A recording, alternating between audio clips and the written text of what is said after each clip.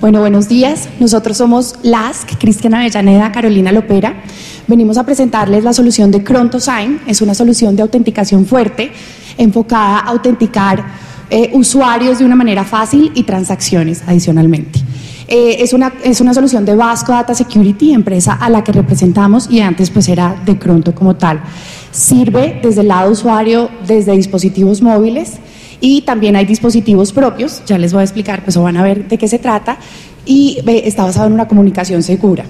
la izquierda lo que vamos a ver es como una demostración de una simulación de un portal transaccional y a la derecha estamos duplicando un smartphone que en este caso pues es un iPhone.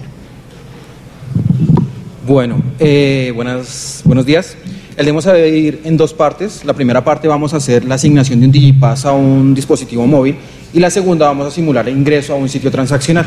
Entonces vamos a ingresar a, asignar el Digipass.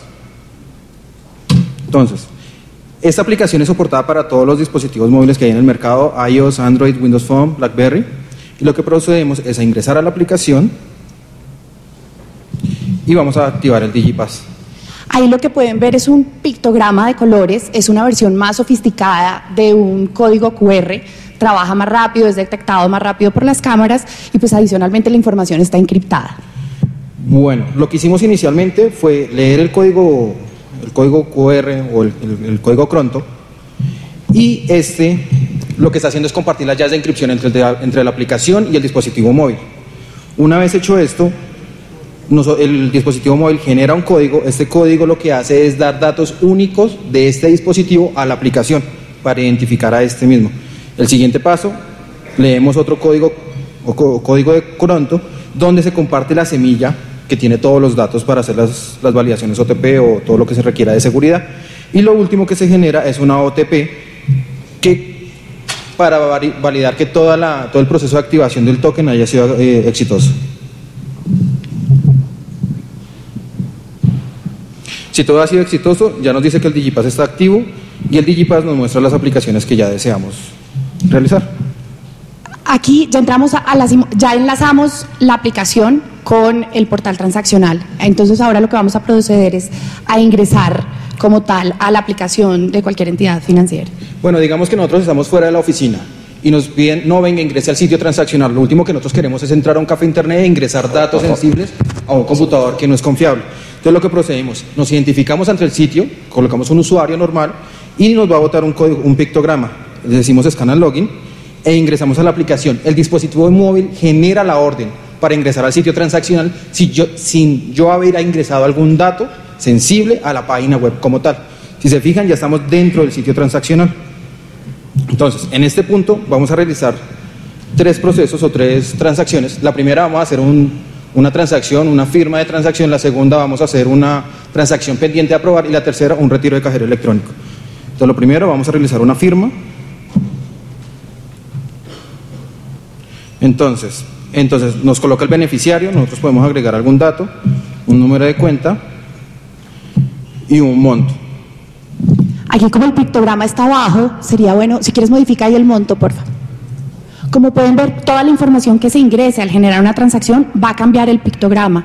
Entonces, toda la información que está embebida dentro de una transacción queda, digamos, anclada a ese pictograma y solo puede ser leída por ese teléfono. Listo, vamos a proceder a firmar la transacción. toda, la toda la información que está siendo ingresada en la página eh, se ve en el dispositivo móvil para validar que todo lo que yo esté ingresando sea válido. Esto es basado en el principio de what you see is what you sign, como WYSIWYS, y es que toda la información sea exacta. En esto lo que estamos haciendo es evitar ataques de hombre en el medio y hombre en el browser. Listo, entonces, por ejemplo, ya hicimos la transacción, fue firmada exitosamente. Ahora vamos a hacer, a guardar una transacción pendiente de aprobar. Entonces, vamos, realizamos la transacción. Entonces aquí lo que vamos a hacer es la solución aguanta hasta 8 campos, todo es parametrizable y cada campo puede tener hasta 16 caracteres.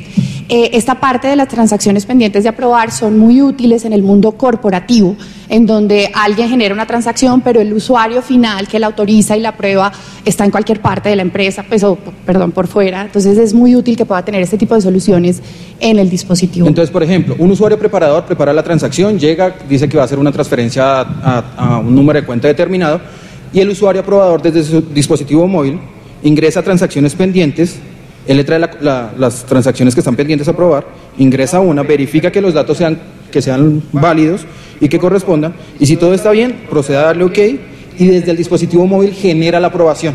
No tiene que in- ingresar a la página web como tal. Como ven, ya desapareció de la parte transaccional la, la operación pendiente. Por último, vamos a hacer un ejemplo de retiro de efectivo. Esta aplicación le vemos utilidad en muchísimos aspectos del sector financiero y otros sectores. Eh, en un cajero electrónico nos podríamos simplemente identificar con, un- con la cuenta del banco, con la información que se desee y con el pictograma pues, se hace la lectura directamente. Bueno, entonces ingresamos al sitio, al, al cajero electrónico, nos identificamos obviamente con él. Este es más pequeño. Y él nos bota el pictograma, nosotros lo leemos y lo que procedemos a hacer es ingresar el monto que yo quiero retirar. Entonces le digo 500.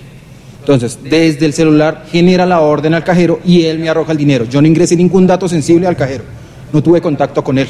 Entonces, básicamente, estos son los tres ejemplos más prácticos que nosotros le vemos a, a- a la aplicación, pero esto tiene cualquier aplicación. Podemos usarlo para eliminar los sobreflex que lleguen en un correo electrónico y leer el pictograma desde la pantalla. Podemos también hacer certificados, eh, los extractos bancarios, podemos reemplazar temas de pólizas en el ambiente de seguros y pues en, el otros, en otros sectores como juegos, gaming y demás, pues tiene múltiples utilidades.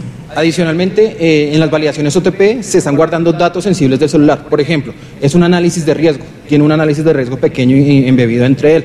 Entonces, por ejemplo, si el dispositivo está ruteado o, es- han violentado su, su su sistema operativo, si tiene la suficiente protección a nivel de aplicación y de dispositivo, o si tiene la, la localización activada. En base a esos tres, la entidad financiera puede generar, no sé, algún comportamiento sobre el usuario para determinar qué puede hacer o qué no puede hacer. Muchas gracias.